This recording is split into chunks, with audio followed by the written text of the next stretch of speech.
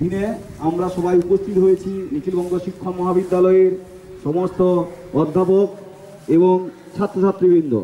তার সঙ্গে উপস্থিত হয়েছেন আমাদের প্রধান করণিক কৃষ্ণ পদকুণ্ডু মহাশয় এবং উপস্থিত আছেন আমাদের বুম্বাদা। তো আজ এই মহতি দিনে আমি স্যারের কাছে প্রধান, আমাদের বিভাগীয় প্রধান এবং শান্তনু দা, শান্তনু স্যারের কাছ থেকে পারমিশন নিয়ে প্রাথমিক পর্যায়ের যে অনুষ্ঠান সেই অনুষ্ঠান শুরু করার জন্য আমি অনুমতি চাইছি Fred Southern. Fred खड़े खड़े का दल शुरू कर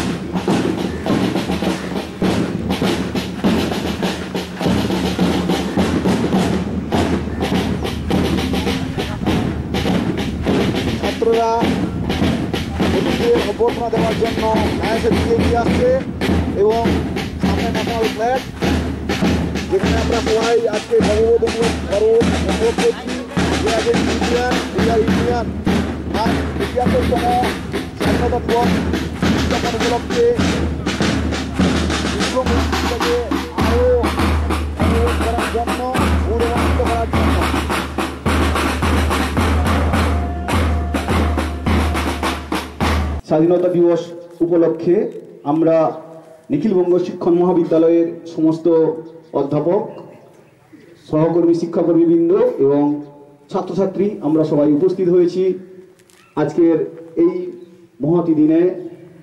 শহীদদের শ্রদ্ধা দেওয়ার সঙ্গে সঙ্গে, শ্রদ্ধাঞ্জলি দেওয়ার সঙ্গে সঙ্গে জাতীয় পতাকাকে সম্মান প্রদর্শনের জন্য। আজ এই অনুষ্ঠানে আমি পতাকা উত্তোলনের জন্য আমি শারীর শিক্ষা বিভাগের বিভাগীয় প্রধান ডক্টর নিত্যানন্দ কর্মকার মহাশয়কে এবং তার সঙ্গে ডক্টর শান্তিনাথ পাত্র মহাশয়কে আমি সহযোগিতা করার জন্য অনুরোধ করব।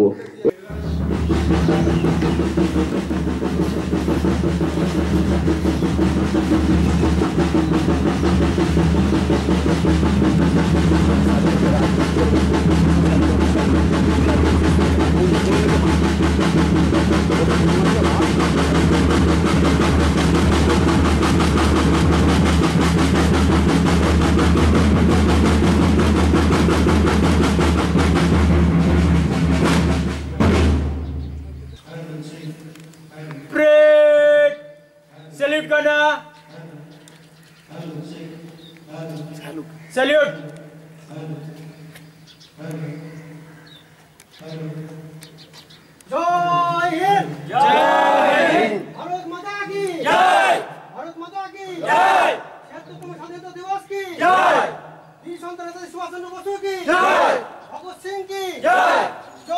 ভারত মাতা জয়।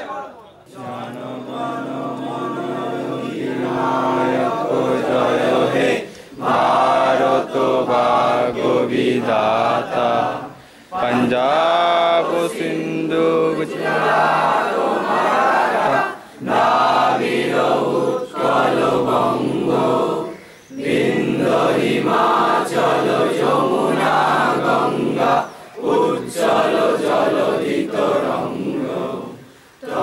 এবং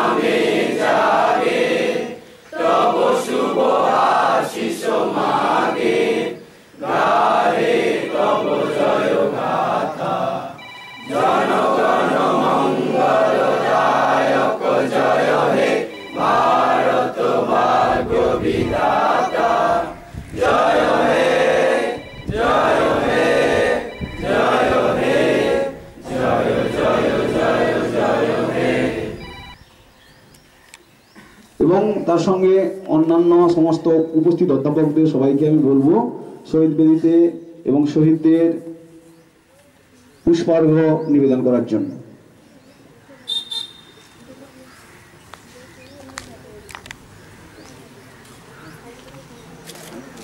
বন্দে মাতরম।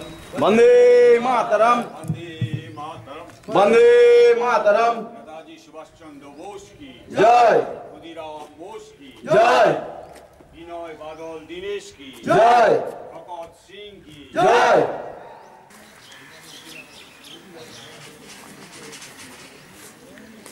আজকে উপস্থিত আমাদের সিনিয়র ছাত্র যারা রয়েছে তোমরাও শহীদ বেদী এবং শহীদদের পুষ্পার্ঘ নিবেদন করো শ্রদ্ধা জানাও। শিক্ষণ মহাবিদ্যালয়ের বিপিএড এবং বিএড বিভাগের সমস্ত শিক্ষক শিক্ষিকা বৃন্দ, শিক্ষাকর্মী বৃন্দ এবং আমার স্নেহের সহপাঠী বৃন্দ সকলকে জানাই স্ব জায়গায় শ্রদ্ধা ও ভালোবাসা। সাম্য মৈত্রী ঐক্য প্রগতি, শান্তির পথ ধরে আমরা চলেছি, আমরা চলব যুগ যুগান্তর। সেই পথের পথিক হয়ে আজ আমরা স্বাধীনতার লাভের ছিয়াত্তর বছর পূর্ণ করেছি। ভাষা, নানা মত, নানা পরিধানের মাঝে জাতীয় ঐক্য স্বরূপ নীল আকাশে সগর্বে উড়ছে তেরঙ্গা জাতীয় পতাকা। তাই এই দিনটির গুরুত্ব অপরিসীম। এই মহিমাময় দিনটির উদযাপনের উদ্দেশ্যে আমরা নিখিলবঙ্গ শিক্ষণ মহাবিদ্যালয় পরিবারের সকল সদস্য আজ এখানে মিলিত হয়েছি। আজ আমরা সভাপতি হিসাবে পেয়েছি বিপিএল বিভাগীয় প্রধান ডক্টর নিত্যানন্দ কর্মকার মহাশয়কে। এরপর আমরা অনুষ্ঠান করছি অনুষ্ঠান শুরু করছি একটা উদ্বোধনী সংগীত পরিবেশনের মাধ্যমে। পরিবেশনে বিএড বিভাগে বিনোদনত মুখার্জি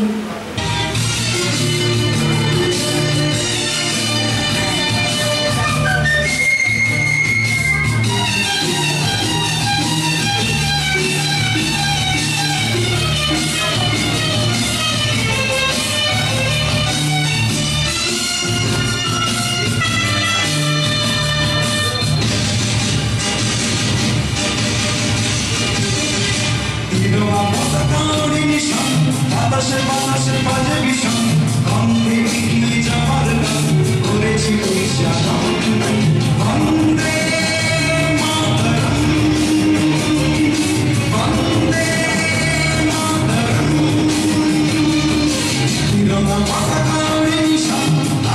বাতাসে বাজে ভীষণ গন্ধে এগিয়ে যাবার গান করেছি উচ্চারণ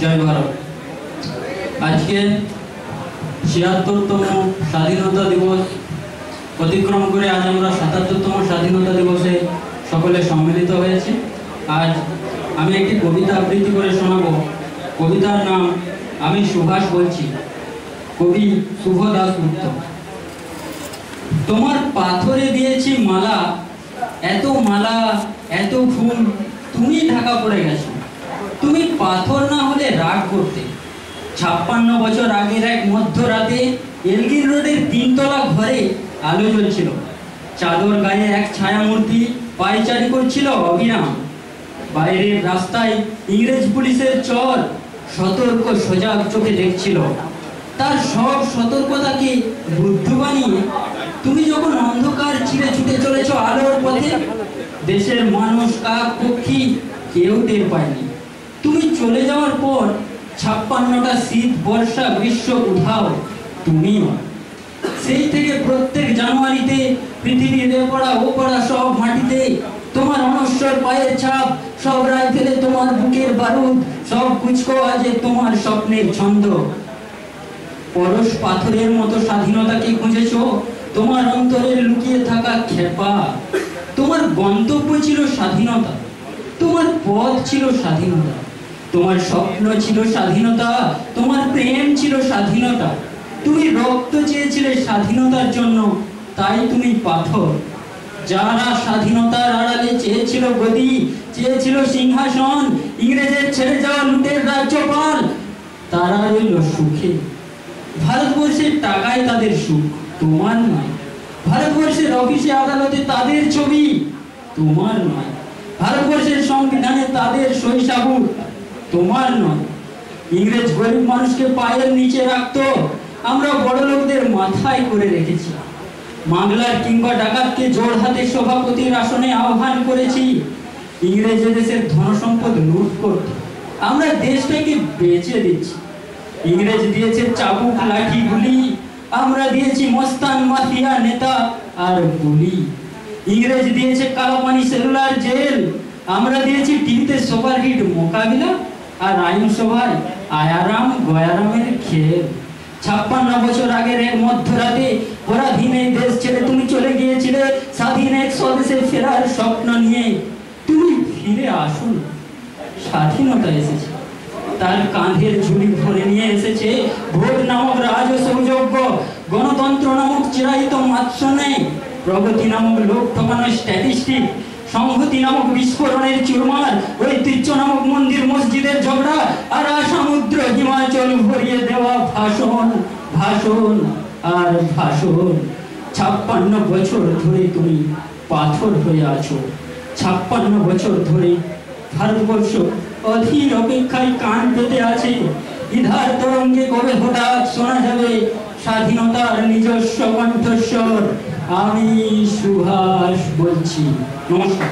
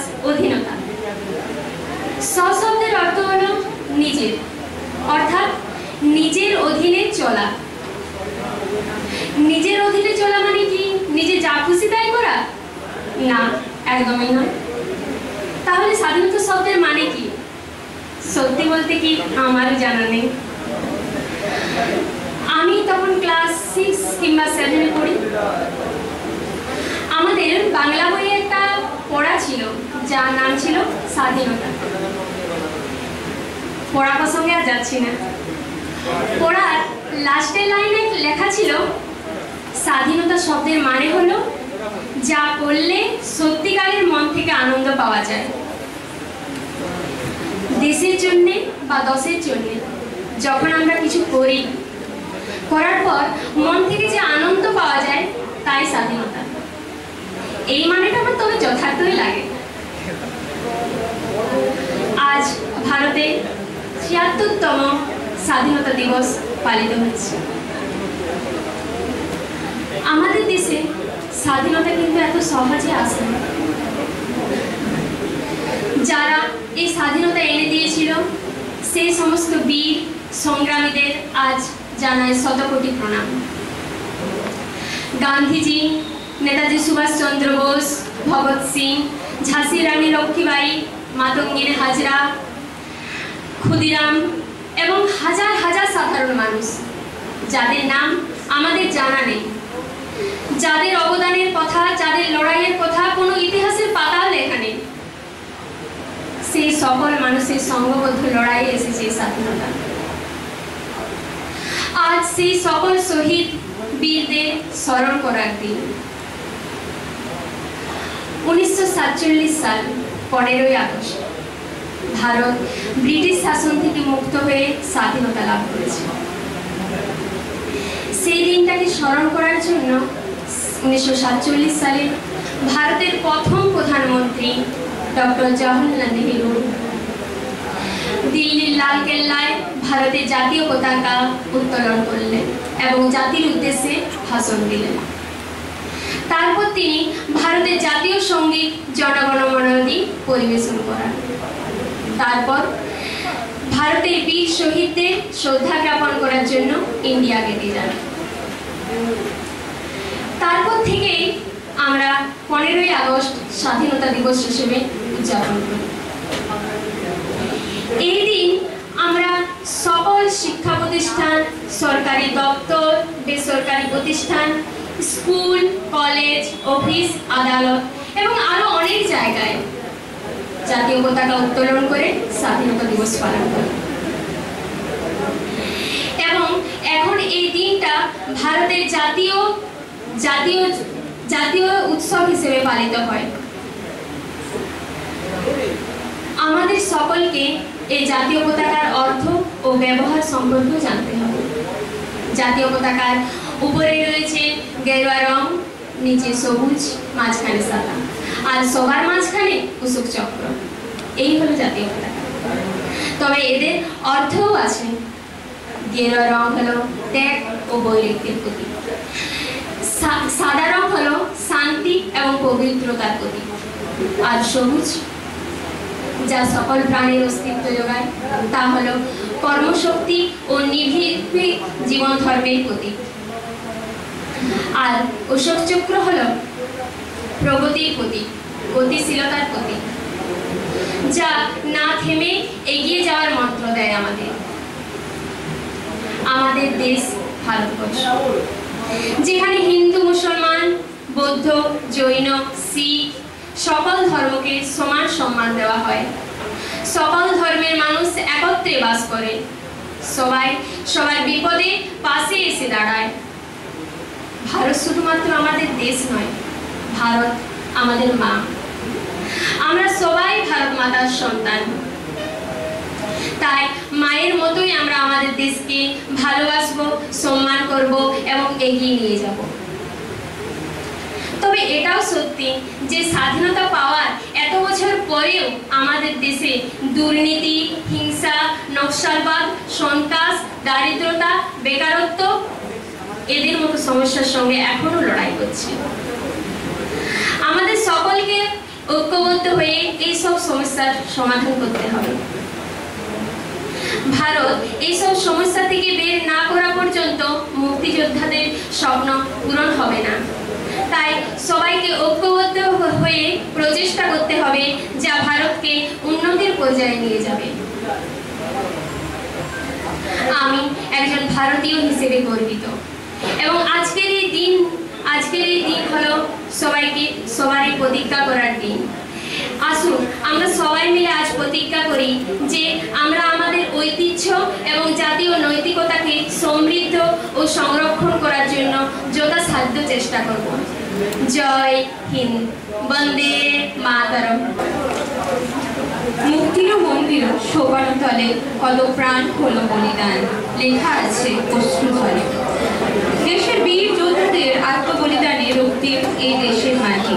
ভগৎ সিং সুভাষচন্দ্র বসু, মাস্টার সূর্য সেন, ক্ষুদিরাম বসু, বিনয় বাদল, দীনেশ, সকলেই দেখেছিলেন স্বাধীন ভারতের স্বপ্ন। দেশকে পরাধীনতার শৃঙ্খল থেকে মুক্ত করতে তাই তারা এগিয়ে এসেছিলেন, জীবনের শেষ রক্তবিন্দু দিয়ে চেষ্টা চালিয়েছিলেন। তাদের আত্মবলিদানের মধ্য দিয়ে উনিশশো সাতচল্লিশ সালে এই দিনে ভারতবর্ষ স্বাধীনতা লাভ করে। এরপর আমরা একটি আবৃত্তি পরিবেশনা শুনে নেব।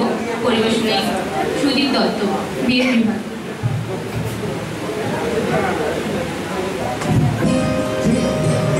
আজ পনেরোই আগস্ট।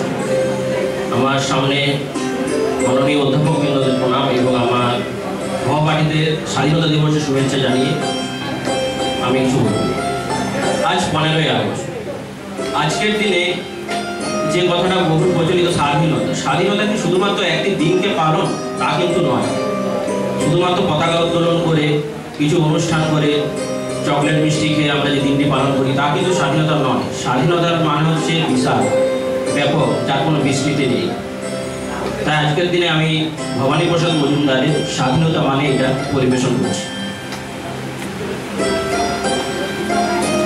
যে ছেলেটা বস্তা কাঁধে কাগজ পুরো পাড়ায় ধরে যে ছেলেটা রোজ বাজারে মুরগি কাটে, পালক ছাড়ায়। যে ছেলেটা রেস্তোরাঁতে ধুচ্ছে থালা গেলাস বাটি। যে ছেলেরা সারা জীবন খায় লাঠি কিল, চর ও চাঁটি ওদের কাছে প্রশ্ন করো, ওরা কি কেউ সত্যি জানে? স্বাধীনতা কাকে বলে? স্বাধীনতার সঠিক মানে? যে মেয়েটা ভোর না হতেই মায়ের সাথে যাচ্ছে কাজে, যে মেয়েটা পরের বাড়ি কাপড় কাচে, বাসন মাজে, যে মেয়েটা গোবর কুড়োয় ঘুটেও দেয় কয়লা বাছে, যে মেয়েরা সারা জীবন পায় না আদর কারোর কাছে। ওদের কাছে প্রশ্ন করো। ওরা কি কেউ সত্যি জানে? স্বাধীনতা দেখতে কেমন? স্বাধীনতার সঠিক মানে? যে ছেলেটা রাস্তাঘাটে করছে পালিশ, পরে জুতো, যে ছেলেটা ট্রেনের হকার, খাচ্ছে রোজই লোকের গুঁতো। লজেন্স খাওয়ার বয়স যাদের, করছে তারাই লজেন্স ফেরি। যাদের বুকে সূর্য ওঠার গোলাপ ফোটার অনেক দেরি। ওদের কাছে প্রশ্ন করো, ওরা কি কেউ সত্যি জানে? স্বাধীনতা জিনিসটা কি স্বাধীনতার সঠিক মানে? স্বাধীনতার মানে বোঝে নীল আকাশের বন্ধু পাখি।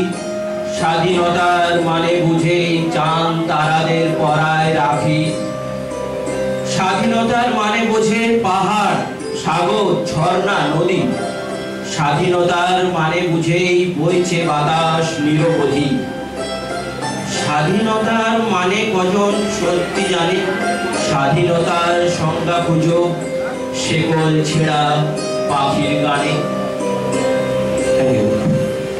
मेरी जमी अफसोस नहीं जो तेरे लिए सौ दर्द से। महफूज रहे, तेरी आन सदा, चाहे जान मेरी ये रहे, न रहे।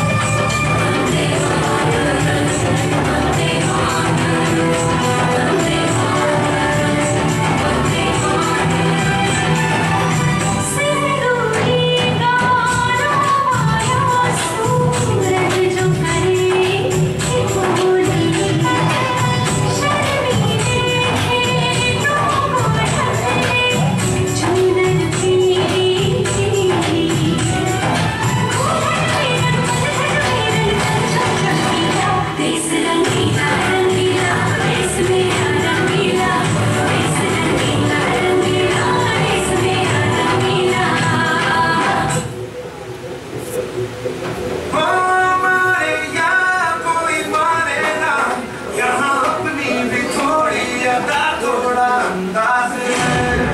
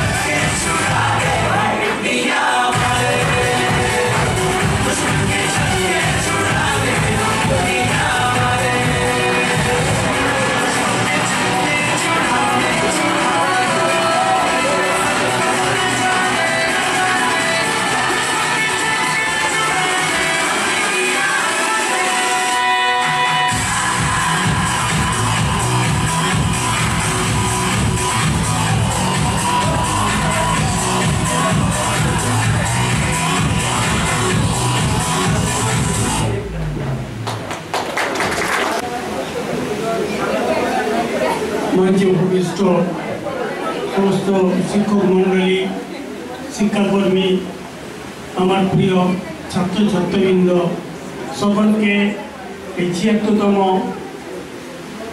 ভারতীয় স্বাধীনতা দিবস উপলক্ষে যথাযোগ্য শ্রদ্ধা, প্রণাম ও ভালোবাসা জানিয়ে দু একটা কথা বলছি।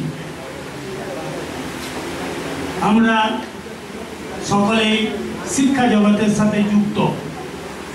সেই হিসাবে ভারতের স্বাধীনতা সম্পর্কে অল্প বিস্তর সবাই জানে। কিন্তু আমরা ইতিহাসের পাতায় পড়ে, পড়েছি বা দেখেছি যে এই স্বাধীনতা কিন্তু খুব সহজে আমরা আমাদের কাছে আসেনি। আমাদের যে সুদীর্ঘ দুশো বছর যে ইংরেজদের শাসন, সেই শাসনে সারা ভারতবাসী অতিষ্ঠ হয়ে ওঠে। তাদের অকথ্য অত্যাচার, নিপীড়ন সহ্য করতে করতে আমাদের অনেক ভারতবাসীকে প্রাণ দিতে হয়েছে। তাই এই যখন আমাদের সমস্ত ভারতবাসী তাদের অত্যাচার, অতিষ্ঠ, তখন আমাদের ভারতবাসীর মধ্যে কিছু ব্যক্তি পুরুষ হোক আর মহিলাই হোক, অর্থাৎ আমি যাদেরকে বলতে চাইছি স্বাধীনতা সংগ্রামী, তারা ইংরেজদের বিরুদ্ধে দীর্ঘ লড়াই করে আজ আমাদেরকে স্বাধীনতা দিয়েছে। এবং তাদের যে অত্যাচার, ইংরেজদের যে অত্যাচার, সেই অত্যাচার আমরা উপলব্ধ করতে পারি না। কারণ আমরা আজ স্বাধীন ভারতবর্ষে স্বাধীন ভারতবর্ষে বাস করছি। কিন্তু আমরা তাদের ইতিহাসের পাতায় দেখেছি যে ভারতবাসীরা কি পরিমাণ নিপীড়িত হয়েছে? আজ আমরা দেখেছি যে এই সকল ভারত, এই সকল স্বাধীনতা সংগ্রামী একদিকে পূর্ব ভারত, একদিকে পশ্চিম ভারত, উত্তর ভারত থেকে দক্ষিণ ভারত। সমস্ত স্বাধীনতা সংগ্রামী ঐক্যবদ্ধ হয়ে এই লড়াইয়ের বিরুদ্ধে এককাট্টা হয়ে পড়ে। তাদের আন্দোলন চালিয়ে যায়। যদিও তাদের আন্দোলনটা দুভাগে বিভক্ত, একটা নরমপন্থী, একটা চরমপন্থী। তবুও আমিও বলব যে পূর্ব প্রান্ত থেকে যেমন নেতাজি সুভাষচন্দ্র বসু হোক বা বিনয় বাদল, দীনেশ সূর্য সেন অথবা আমাদের ক্ষুদিরাম বসু হোক, অথবা আমরা পশ্চিম ভারতবর্ষের থেকে আমাদেরকে গান্ধীজি আমাদের লাল বাল বলে যাকে আমরা চিনি গঙ্গাধর তিলক, লালা লাজপত রায় এবং আরও প্রমুখ তাছাড়া ভগৎ সিং, মহিলারাও এই আন্দোলনে কখনোই পিছিয়ে থাকেনি। যেমন আমাদের এখানে মা মাতঙ্গিনী হাজরার নাম না করলেই নয়, আমরা মধ্য ভারতের থেকে ঝাঁসি রানীর কথা আমাদের না বললেই নয়। তারা ইংরেজদের বিরুদ্ধে কি পরিমাণ লড়াই করে আজকে আমাদের স্বাধীনতা দিবস আমাদের স্বাধীন ভারতকে উপহার দিয়েছে? তবে হ্যাঁ এই স্বাধীন ভারত যেটা আমাদের উপহার দিয়েছে, এখন আমরা স্বাধীন ভারতে বসবাস করছি, খুব সুখে আছি। কিন্তু আমাদের যেটা ওনারা আমাদের হাতে যে দায়িত্বটা তুলে দিয়েছেন, সেই দায়িত্বটাও কিন্তু পালন করাটা খুব একটা সহজ কাজ নয়। আমরা যে আজকে স্বাধীন ভারতবর্ষে বাস করছি, এই স্বাধীন ভারতবর্ষে তাদের যে স্বপ্ন, যে এই ভারতবর্ষ একদিন আরও উন্নত থেকে উন্নততর দেশে পরিণত হোক, এই জায়গাটা আমাদের কর্তব্য পালন করতে হবে। এই জায়গাটাতে আমাদেরকে দেশকে আরও, আমাদের রাষ্ট্রকে আরও উন্নত জায়গায় নিতে গেলে আমাদের জাত, পাত, ধর্ম ভুলে গিয়ে সবাইকে আবার একতাবদ্ধ হয়ে পড়ে আমাদের দেশকে আগিয়ে নিয়ে যেতে হবে। এই শপথটাই আমাদেরকে আজকের দিনে নিতে হবে। আমি আজকে আর বক্তব্য দীর্ঘায়িত করব না। সকলকে আমার যথাযোগ্য সম্মান, ভালোবাসা জানিয়ে আমি আমার বক্তব্য শেষ করছি। ধন্যবাদ। ডক্টর নিত্যানন্দ কর্মকারকে আমার প্রণাম এবং আমার সহকর্মী যারা আছেন, তাদেরকে আমার আন্তরিক ভালোবাসা, শুভেচ্ছা। তার সঙ্গে আমার বিপিএড এবং বিএড ডিপার্টমেন্টের ছাত্রছাত্রীদেরকে আন্তরিক ভালোবাসা, শুভেচ্ছা জানিয়ে আজকে পনেরোই আগস্ট সম্পর্কে আমি কয়েক কথা বলব। আমরা ভারতবর্ষে আজ স্বাধীনভাবে বসবাস করছি। তার জন্য একটা জাতীয় পতাকা তৈরি হয়েছিল। জাতীয় পতাকাটার দিকে তাকালেই তোমরা দেখতে পারবে গেরুয়া। এটা ত্যাগের প্রতীক, হোয়াইট, সাদা, শান্তির প্রতীক, সবুজ, যেটা আমাদের সৌর্য বিদ্রোহ কর্মদক্ষতার প্রতীক। এই যে প্রতীকটা হয়ে উঠেছে, এর মধ্যে অনেক কিছু লুকিয়ে আছে। আমি ছাত্রদের ক্লাসে সবসময় বলি, যে প্রশ্নের মধ্যে উত্তর লুকিয়ে থাকে, তোমরা একটু বুঝলে পরেই প্রশ্নটা বুঝলে উত্তর লিখতে পারবে নিজের গেরুয়া আমাদের ভারতবর্ষ ছিল মনীষীদের দেশ। তোমরা দেখেছ জোগাড় সৃষ্টিকর্তা, পতঞ্জলি তিনি ছিলেন ভারতবর্ষের। আজ আমাদের যে সারা পৃথিবীতে যে মিসাইল, যে বড় বড় ব্রহ্মাস্ত্র থেকে শুরু করে যত যত অস্ত্র সব ভারতবর্ষের সৃষ্টি, তোমরা রামায়ণে দেখেছ। রামায়ণে রাম রাবণের যুদ্ধে যে অস্ত্রগুলা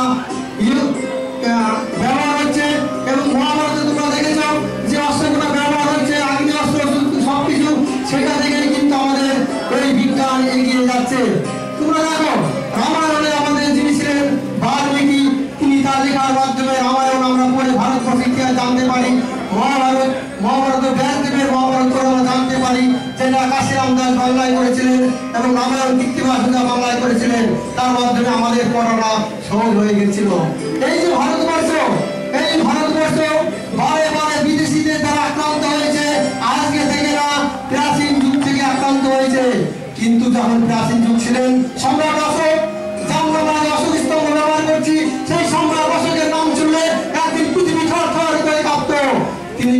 কলিঙ্গ যুদ্ধের পরে রক্ত দেখে তিনি অহিংসনীতি গ্রহণ করেছিলেন। তারপরে তিনি তার যারা উত্তরসূরি ছিলেন, তাদেরকে দুর্বার করে দিয়ে গেছিলেন। ভারতবর্ষকে দুর্বার করে দিয়ে গেছিলেন। তোমরা সমুদ্রগুপ্ত তিনি সারা ভারতবর্ষ না, সারা পৃথিবীতে শাসন করতেন পৃথিবী যে কোনো দেশ ভারতবর্ষের নাম শুনলে থর থর করে কাঁপত। তার সঙ্গে ছিল সহ্য বীর্য। ভারতবর্ষ ছিল স্বর্ণ রূপ, সম্পদ। কিনা আছে ভারতবর্ষে? তোমরা দেখেছ সুলতান মাহমুদ ভারতবর্ষ থেকে কোটি কোটি টাকার সোনা গয়না নিয়ে গেছেন। নাদির শাহ সালে নাদির শাহ ভারতবর্ষ থেকে কোটি কোটি টাকা লুটপাট করে নিয়ে গেছে। এই যে ভারতবর্ষের দিকে মানুষ কেন তাকায়? যার কিছু আছে, তার দিকেই মানুষ তাকায়। যার কিছু নেই, তার দিকে মানুষ তাকায় না। তোমরা দেখেছ ফরাসিরা ভারতবর্ষে এসেছিল বিজনেস করতে ডাসরা এসেছিল, পরবর্তীকালে ইংরেজরা এসেছিল ভারতবর্ষে বিজনেস করতে, কিন্তু ভারতবর্ষের অত সম্পদ, সেই সম্পদ থেকে তাদের লোভ জাগলো। তোমরা দেখেছ হুম আক্রমণ হয়েছিল, সেই হুমদের স্কন্দগুপ্ত ভারতবর্ষ থেকে হেঁটিয়ে দিয়েছিল, কিন্তু আমাদের ভারতবর্ষ সাড়ে সাতশো বছর পর দিয়েছিল তার ইতিহাসটা তোমাদের আমি একটু বলছি, এগারোশো একানব্বই সালে মোহাম্মদ ঘুরিকে যখন যুক্তরাষ্ট্র পরাজিত করে তাকে তার নিজের দেশে ফিরিয়ে দেন। কেন ভারতবর্ষ? শান্তির প্রতীক, শান্তি নিয়ে বাঁচতে চাই আমরা অহিংস মানুষকে, আমরা কোনোদিন মানুষকে হত্যা করব না। সেটা ছিল ভুল পিতৃরাশ্রমের পিতৃরাশ্রমের সেই ভুলের জন্য পরবর্তীকালে তারই শ্বশুর জয়চাঁদ। জয়চাঁদের মেয়েকে পিতৃরাশ্রম জয় করে বিয়ে করেছিল। তার রাগ ছিল। সে দেখল, এই পিতৃরাশ্রমকে জব্দ করতে গেলে আমাকে মোহাম্মদ ঘুরির সঙ্গে হাত মিলাতে হবে।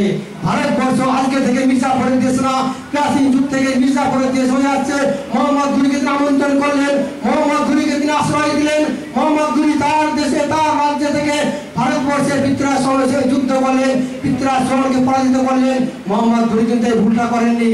ব্রিটিশরা এই ভুলটা করে না, ইংরেজরা এই ভুলটা করে না ফরাসিরা এই ভুলটা করে না। তিনি দেখলেন পিতৃরাশ্রম যদি বেঁচে থাকে, তিনি অন্য রাজ্যের সহযোগিতা নিয়ে আবার আমার উপরে আক্রমণ করবে, আমাকে পরাজিত করবে। তিনি কি করলেন? পিতৃরাশ্রমকে হত্যা করে দিলেন। সালে মোহাম্মদ ঘুরিকে নিজের বিদেশ করার জন্য রাজদ্রোহী করে যদি ফাঁসির মঞ্চে অথবা তাকে হত্যা করে দিত, তাহলে ভারতবর্ষ এই অমূল্য সম্পদ কোনোদিন হারাতো না। তিনি কি করলেন? নিজের দেশে চলে গেলেন। তার বিশ্বস্ত সেনাপতি তিনি ছিলেন কৃতদাস তাকে পরাজিত করে তার সেনাপতি করেছিলেন কুতুবুদ্দিন আইওয়া তাকে পনেরোশো ছয় খ্রিস্টাব্দে ভারতবর্ষের সুলতানি সাম্রাজ্য প্রতিষ্ঠা করে দিয়ে গেলেন। সুলতানি সাম্রাজ্য পনেরোশো ছাব্বিশ খ্রিস্টাব্দ পর্যন্ত চলেছিল। পানিপথের প্রথম যুদ্ধে আকবর ইব্রাহিম নদীকে পরাজিত করে আমাদের এখানে আকবরের সাম্রাজ্য প্রতিষ্ঠা করেন বাবর বাবর সাম্রাজ্য প্রতিষ্ঠা করেন দেখো, বাবর যখন মধ্য এশিয়া থেকে পরাজিত হয়ে ফটফট করে ঘুরে বেড়াচ্ছে, তখন তিনি ভারতবর্ষের সিন্ধু উপত্যকায় আসলেন। একটা ঘোড়াকে ছেড়ে দিলেন। ফসল খাচ্ছে, দেখল ভারতবর্ষের লোক সেই ঘোড়াটাকে তাড়িয়ে দিচ্ছে, তাকে ধরে বেঁধে রাখছে না বা তাকে ধরে শাস্তি দিচ্ছে না। তিনি দেখলেন, এই তো মোক্ষম সময়। ভারতবর্ষের লোক মানুষকে ভালোবাসে, এরা মানুষকে অত্যাচার করল তাদেরকে আবার ছেড়ে দেয়। যেটা শুনেছিলাম, সেটা সত্যিই তো। তখন কি করল? মুঘল সম্রাট বাবর ভারতবর্ষ আক্রমণ করে বসল। নদীকে পরাজিত করল। তার কারণ ভারতবর্ষ সেই সময় তার কাছে ছিল কামান ছিল। বাবরের কাছে ভারতবর্ষের ইব্রাহিম নদীর কাছে এরকম অন্যতম অস্ত্র ছিল না। তিনি পরাজিত হয়ে গেলেন, ভারতবর্ষে মুঘল সাম্রাজ্য প্রতিষ্ঠা করলেন। একের পর এক তোমরা দেখেছ ভারতবর্ষের সব রাজ্য মুঘলরা দখল করে নিল। দেখো তারা ছিল কিন্তু সুলতান মুঘলরা ভারতবর্ষে শাসন করেছে। তার ভারতের রক্তের সঙ্গে মিশে গেছেন। ভারতবর্ষে তাদের সমাধি হয়ে গেছেন। কিন্তু তারপরে দেখা গেল কি? সতেরোশো সাত খ্রিস্টাব্দ রঙ্গজনের মৃত্যুর পর সতেরোশো সাতান্ন সাল পর্যন্ত ভারতবর্ষ ছিল অন্ধকার যুগ। সেই সময়টাকে বলা অন্ধকার যুগ। তখন মুঘলদের রাজা ছিলেন দ্বিতীয় বাহাদুর শাহ। তার দুর্বলতার সুযোগে ভারতবর্ষের বিভিন্ন স্বাধীন হতে লাগল। বাংলায়ও তখন মুর্শিদ খুলিকা স্বাধীন হয়ে রাজত্ব করতে লাগলেন। তারই উত্তর সুরি ছিলেন কে? আমাদের নবাব সিরাজদুল্লাহ সেই নবাব সিরাজদুল্লাহর ইতিহাসটা এখন আমি আসি। যখন ইংরেজরা ভারতবর্ষে শাসন করছেন রবার্ট রবার্ট ক্লাইভ। কলকাতায় এসে বিমানবন্দরে তিনি এখানে কি করলেন? একটা ঘাঁটি গাড়লেন, কলকাতাকে আক্রমণ করলেন। নবাব সিরাজদুল্লাহ সতেরোশো সাতান্ন সালে নয় ফেব্রুয়ারি তার সঙ্গে আলীনগরের যুদ্ধ হয়। সেই আলীনগরের যুদ্ধে ইংরেজরা পরাজিত হয় রবার্ট ক্লাইভ। তিনি কি করলেন? তার সঙ্গে আলীনগরে সন্ধি প্রতিষ্ঠা করলেন। ভারতবর্ষ থেকে বিতাড়িত করলেন না, বাংলা কলকাতা থেকে বিতাড়িত করলেন না সে থেকে গেলেন। তখন তিনি কি করলেন? ভারতবর্ষে যারা নবাব সিরাজদুল্লাহর অন্যান্য শত্রু ছিলেন, তাদের সঙ্গে হাত মিলালেন। তিনি কি করলেন? মির্জাফরের সঙ্গে হাত মিলে মির্জাফরকে বললেন আমি তোমাকে ভারতবর্ষের বাংলার নবাব বানাবো। তুমি আমাদের সহযোগিতা করো। মির্জাফর নবাব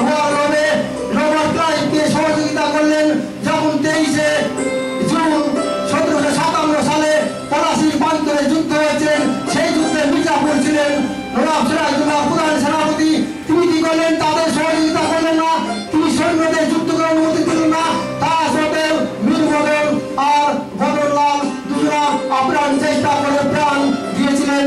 তারা বলেছিলেন, আমার প্রাণ থাকতেও আমরা ইংরেজদেরকে, ভারতবর্ষের মাটিতে কোনোদিন জয়লাভ করতে দিবে না। কিন্তু মির্জাফর সেই বৈমানি করার জন্য নবাব সিরাজুল্লাহ পরাজিত হয়ে গেলেন নবাব সিরাজুল্লাহ পালিয়ে গেলেন। কোথায় রাজমহল পর্যন্ত পালিয়ে গেছিলেন নৌকায় করে তার জুতো দেখে ছিঁড়ে ফেলেছিলেন।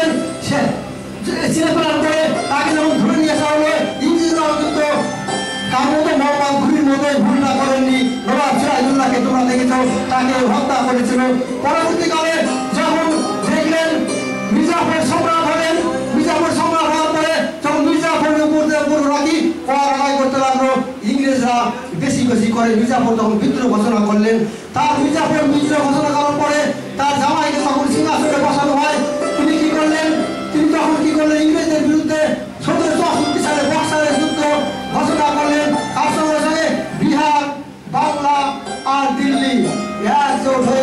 যখন যুদ্ধ হলো, বক্সারের যুদ্ধ, সেই বক্সারের যুদ্ধ বাংলা তথা দিল্লি সম্রাট দ্বিতীয় বাহাদুর সাহেব পরাজিত ঘটলো।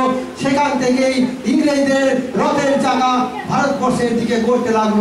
তোমরা থেকে সতেরোশো সত্তর সালে ইংরেজদের অত্যাচার অতটা বেড়ে গেছিল যে ছিয়াত্তরের মন্ত্র মন্ত্র হয়েছিল। সেই ছিয়াত্তর মন্ত্রে হাজার হাজার ভারতবাসী না খেয়ে মারা গেছিল।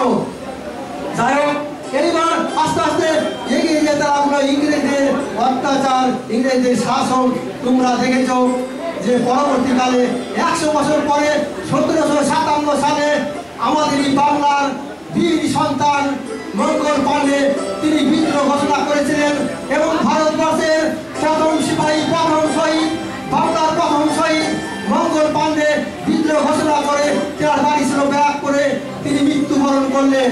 সতেরো সাতান্ন সাল ইংরেজদের বিরুদ্ধে ঝাঁসিরানী লক্ষ্মীবাই ঝাঁপিয়ে পড়েছিলেন। আস্তে আস্তে ইংরেজদের দিকে যখন থেকে করল। কি হবে? মানুষের লাগল। তারপরে করলেন?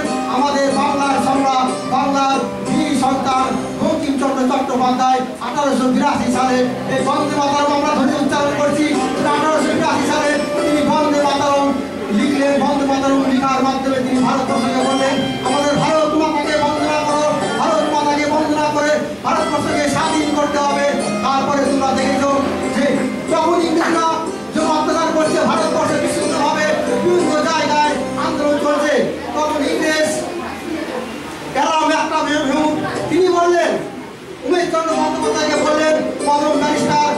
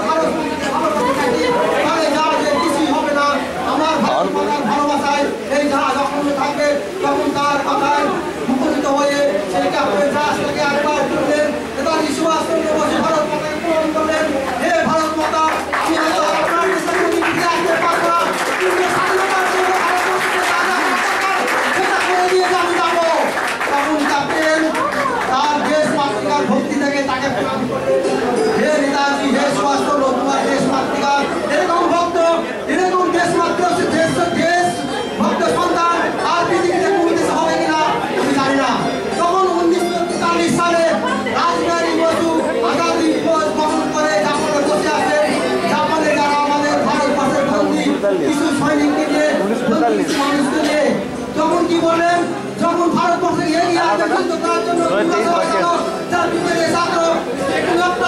বাকেট উনিশশো তেতাল্লিশ দু হাজার তেইশ বাকি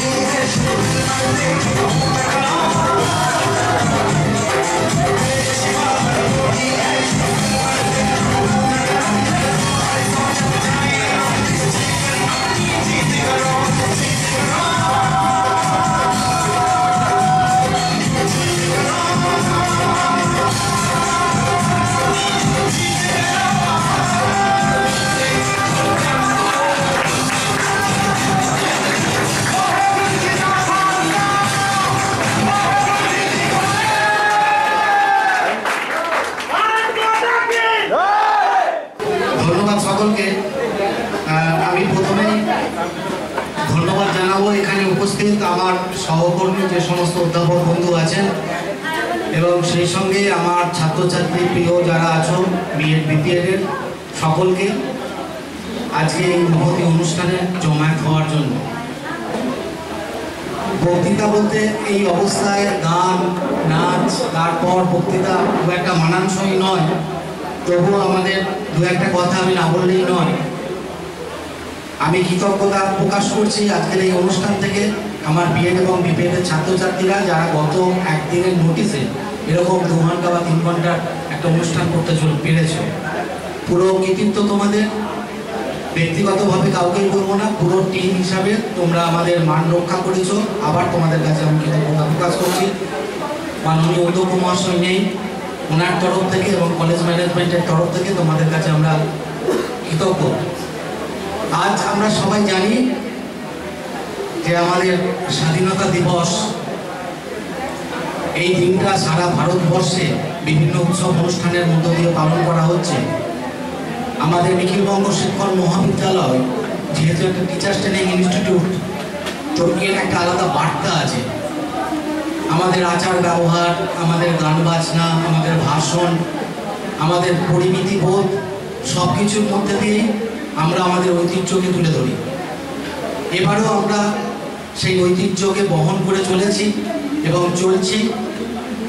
এর জন্য এখন আহ, নিত্যানন্দ বাবু নেই উনি চলে গেছেন বা বিপিএড এর যে সমস্ত স্যারেরা ছিলেন ছাত্রছাত্রী ছিলেন সঙ্গে বিএডেরও তোমরা সকলে মিলে এই সার্বিক সাফল্য তৈরি করেছ এবং এর আগে আজকের যে অনুষ্ঠানের যে প্রাসঙ্গিকতা সেটা সম্পর্কে খুব বিস্তৃতভাবে আমাদের শিক্ষক তরুণবাবু বলেছেন, এবং খুব সংযতভাবে আমাদের বর্ষিয়ান শিক্ষক নিত্যানন্দবাবু বলেছেন, তার বাইরে আর কিছু বলার নেই। আমরা সবাই এখানে শিক্ষক হতে চলেছি। আমাদের দেশের প্রতি, জাতির প্রতি আমাদের কি কর্তব্য আমরা সেটা জানি, বুঝি। আমাদের মহান শহীদদের প্রতি আমাদের যে কর্তব্য, দেশের প্রতি নাগরিক হিসাবে আমাদের যে কর্তব্য এটা আমরা জানি। তাই নতুন করে আজকের দিনে আমরা সেই সমস্ত শহীদদের উদ্দেশ্যে নিজেদের এই আত্মত্যাগ, নিজেদের এই কর্মপ্রচেষ্টা, নিজেদের এই পথ চলাকে পাথেয় করে, যাতে করে আমরা এই সমস্ত মনীষীদের যে আত্মত্যাগ, সেটা সাফল্য লাভ করতে পারে, তারা যা চেয়েছিলেন, সেটাকে বাস্তবায়ন ঘটাতে পারি। সেই পথ আমরা দেখাবো, পরবর্তী প্রজন্মকে দেখাবো, আমাদের পরবর্তী সমাজকে দেখাবো। ধন্যবাদ সকলকে, সকলে খুব ভালো থেকো, আবারও ধন্যবাদ। সামনে উপবিষ্ট সকল বর্তমান এবং ভবিষ্যতের শিক্ষক এবং শিক্ষিকা বৃন্দকে আমার শ্রদ্ধা। আজকের এই বিশেষ দিনটিতে জাতীয় পতাকার প্রতি আমার বিনম্র শ্রদ্ধা জানাই। অনেক কিছু বলব। বহু কথা, বহু সাল, বহু তথ্য, পড়াশোনা করে মুখস্থ এলাম তরুণ বল সব বলে দিলেন। তাহলে আর বলা হয়ে উঠল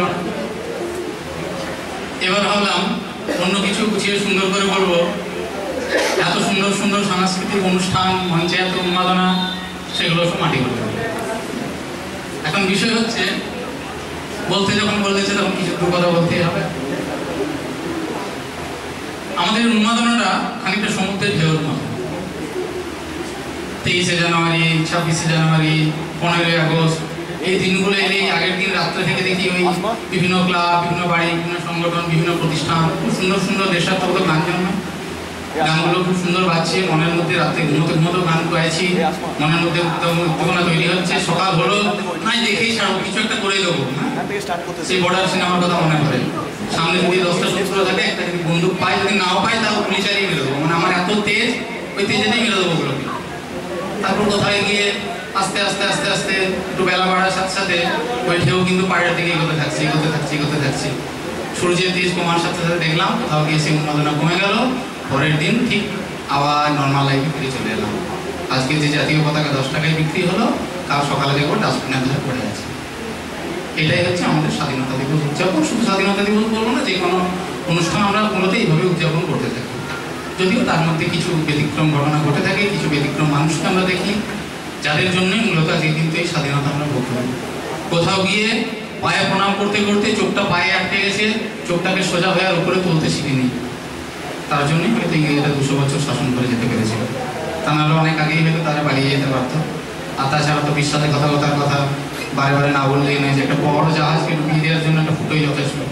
সেখানে একটা দেশকে ডোবানোর জন্য একটা মানুষের তো অনেক বেশি গুরুত্বপূর্ণ ভূমিকা এক ছোট্ট ক্লিপিং দেখছিলাম।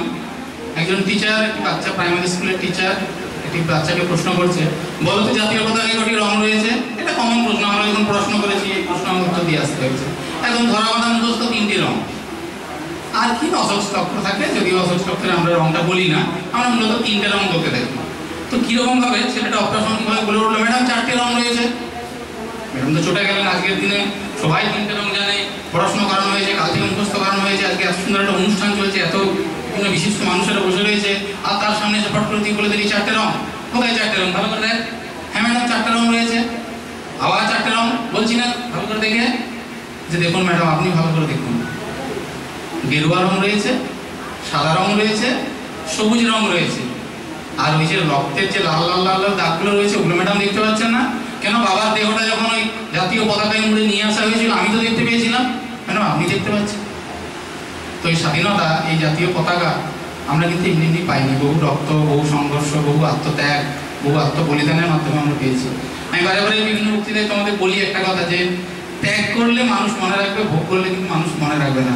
দেখো, আজকের দিনে আমরা তাদেরকেই মনে রেখেছি যারা কিন্তু দেশের জন্য দশের জন্য, আমাদের জন্য কিছু ত্যাগ করে গেছেন, তাদের নামই বারে বারে আমাদের বিভিন্ন আলোচনায়, কবিতাতে, গানেতে তাদের নাম উঠে আসছে।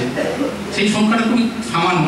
তার থেকে অনেক লক্ষ কোটি মানুষ কিন্তু জন্মেছেন, মরে গেছেন, আমরা কিন্তু ভুলে গেছি তাদের।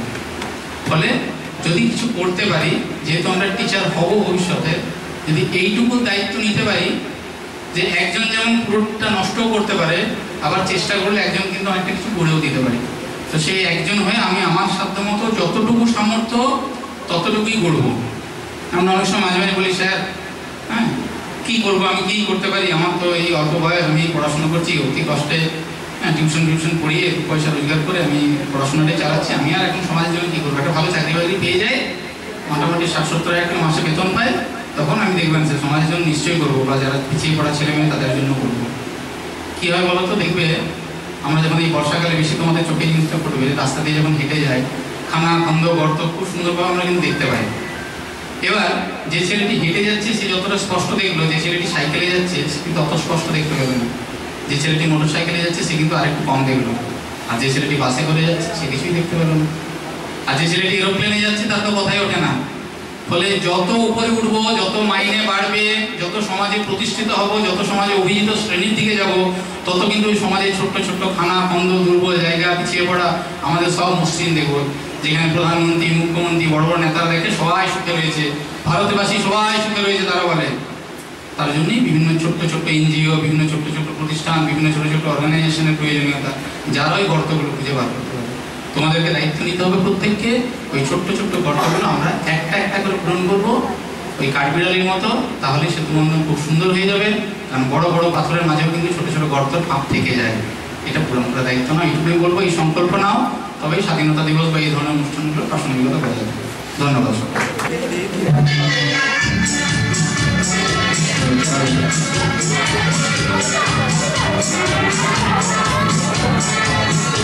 야, 어디 가지? 야, 어디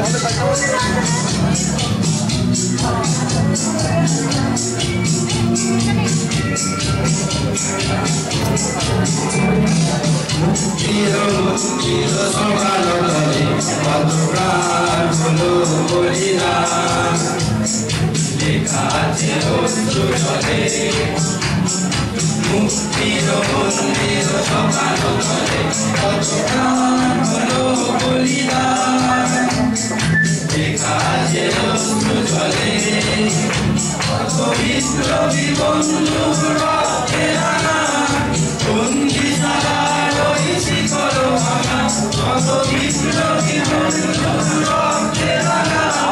Bussen, Gießer, da, los, die Schiefer, los, Kams. Bussen, Gießer, da, los, die Schiefer, los, Kams. Amen.